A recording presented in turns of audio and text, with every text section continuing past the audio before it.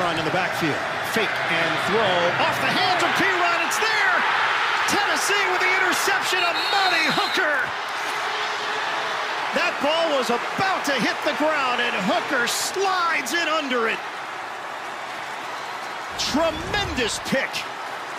Obviously, they're going to take a look at it to see if it hits the ground. Let's keep an eye on that ball. Ooh. It doesn't look like it touches the ground, Ian, and if it does touch the ground, it looks like he has, he has the ball secure. It maybe brushes the ground, but the ball doesn't move, and that's what they're looking for is movement by the ball.